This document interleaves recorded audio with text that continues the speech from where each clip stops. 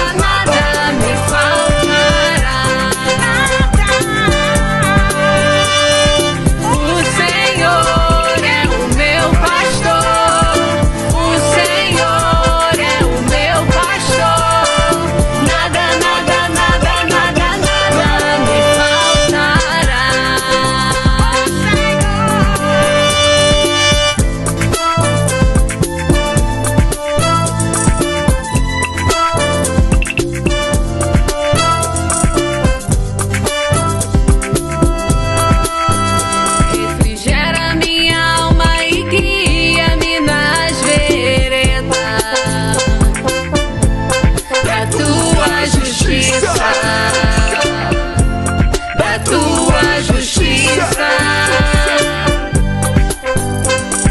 Ainda que eu andasse pelo vale da sombra.